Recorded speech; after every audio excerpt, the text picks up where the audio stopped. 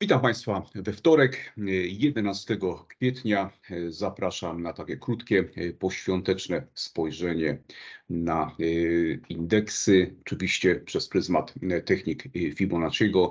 Niewielkie zmiany, stąd właśnie spróbuję dzisiaj w nieco krótszy i bardziej skondensowany sposób przypomnieć to, o czym dość szczegółowo mówiłem Państwu tydzień temu.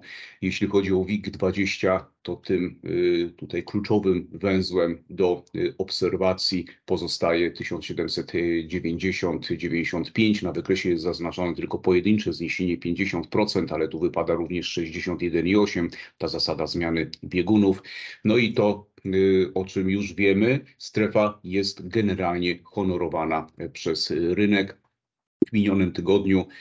Skróconym oczywiście, no niemniej jednak popyt miał wyraźny problem z pokonaniem analizowanej zapory podażowej FIBO.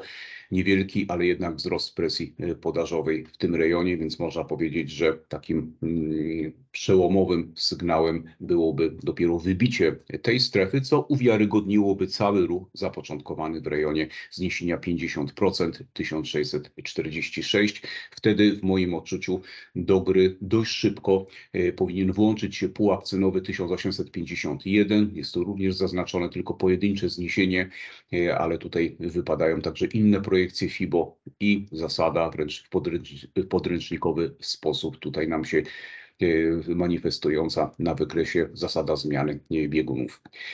Indeks DAX, popyt niezmiennie kontroluje sytuację na rynku. Widać, że w minionym tygodniu w taki bardzo enigmatyczny sposób podaż próbowała przejąć inicjatywę, ale z punktu widzenia techniki, no nie, nie wpłynęło to na jakieś konkretne negatywne wskazania. Faktem pozostaje zatem to, że cały czas wydarzenia rozgrywają się w rejonie 15,781, a jest to zniesienie 88,6. Ogólnie respektowany przez rynek rejon cenowy, posiadający dodatkowe wzmocnienie w postaci tej górnej median line.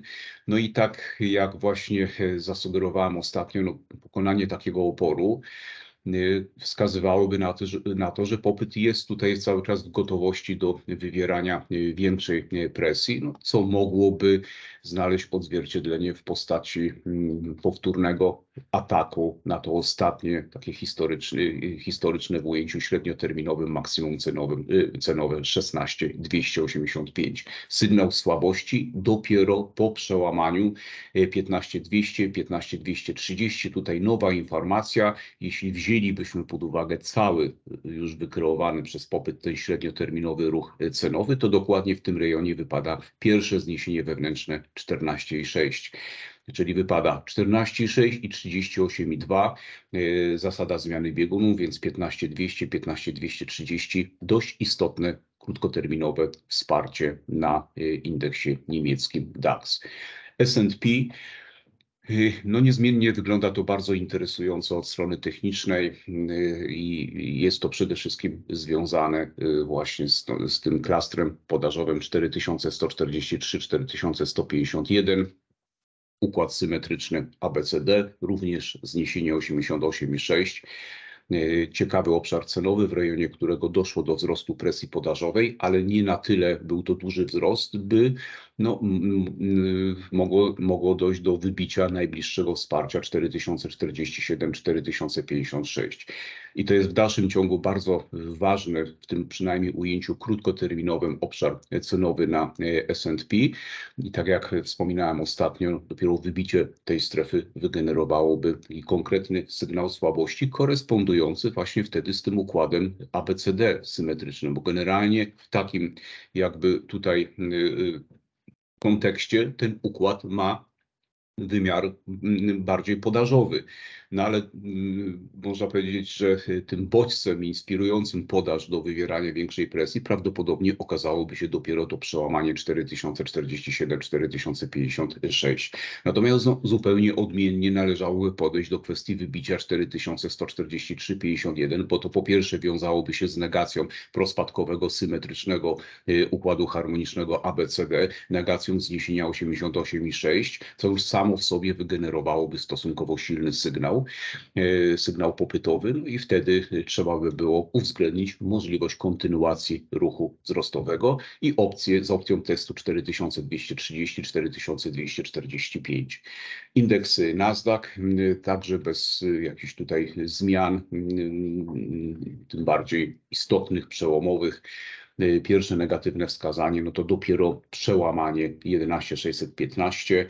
Y, to oznaczałoby, że popyt no, nie radzi sobie w rejonie ważnego średnioterminowego oporu 12428, 12520. Sporo o tej strefie opowiadałem Państwu tydzień temu. No, na pewno warto przypomnieć, że bazą jest tutaj zniesienie 38,2 całego tego średnioterminowego ruchu spadkowego dochodzą inne zniesienia, na przykład zniesienie zewnętrzne 113% tej potwali spadkowej.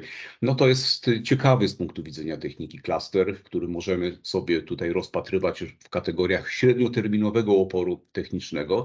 No stąd y, prosta konkluzja, że pokonanie takiej strefy świadczyłoby o tym, że mm, popyt jest zdecydowanie silniejszy od podaży, co mogłoby w efekcie doprowadzić do y, y, tutaj konfrontacji w jakiejś najbliższej perspektywie w rejonie 13-150, a to już jest zniesienie 50% całego ruchu e, spadkowego.